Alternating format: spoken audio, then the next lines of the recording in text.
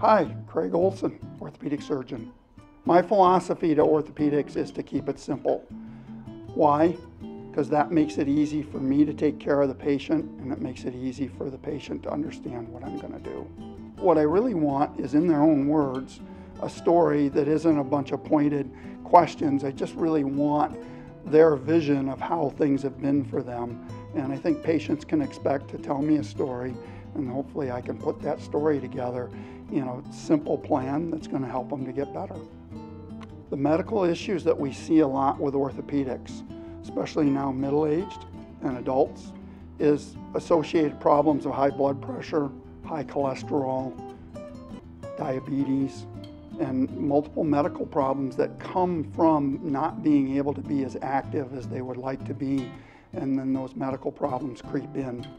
So hopefully our orthopedic procedures can restore that activity level so that they can work on getting those other medical issues improved significantly. But I think it's very important for me to draw out that story that the patient has so we can really kind of delve into the areas where that trust can be built so the patient can be really confident that I really care and I will care for them.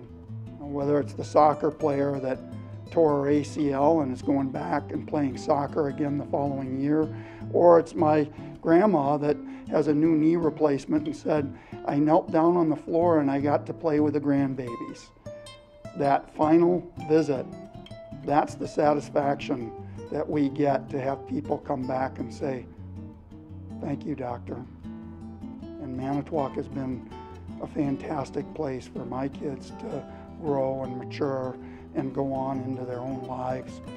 So, what's there not to love about being able to take care of people in a community where my family really grew and prospered?